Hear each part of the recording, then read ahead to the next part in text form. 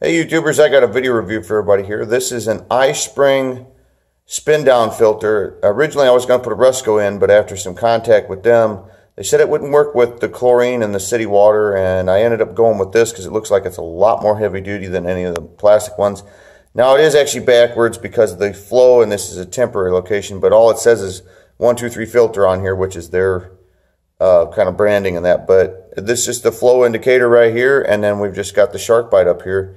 And uh, I get a lot of other questions about the SharkBites and why I went with these quick connect fittings and stuff like that. It was just a preference. We had uh, water lines that broke, and we just ended up just deciding to do the whole house that way, and didn't want to spend the extra money for the tools and other the clamp rings and everything like that, and other barbed fittings. And but these work fine. They've been in here for about two or three years, and they still come apart real easy, no problems. Uh, so I get a lot of questions about that, but I figured I'd address that in the video. And uh, I haven't turned this on right now. So what I wanted to show you guys is this actually moves and spins. Uh, it's got a nice heavy duty O-ring in there. And then in the box, there's an additional tool to take this down. Now this one, the screen in here is 50 micron, which is what they recommend for city. And originally what I was going to do was run a 1 or 200 in front of this and then a 50 and then go into my big blue filters.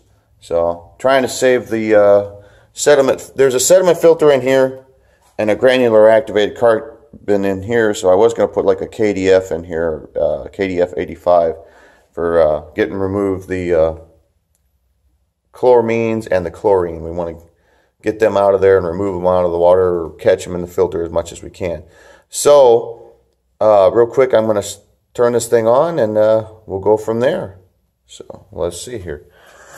I'll try to catch on film for you guys. There we go.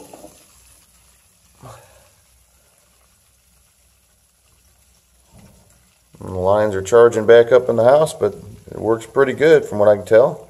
And we'll see. I'll do another review update on this in probably about a, a couple days or so on that.